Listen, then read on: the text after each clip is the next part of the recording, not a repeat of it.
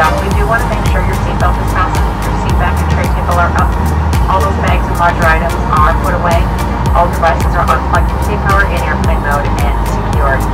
If you are seated in that next row, make sure those window shades are kept open for taxi and takeoff.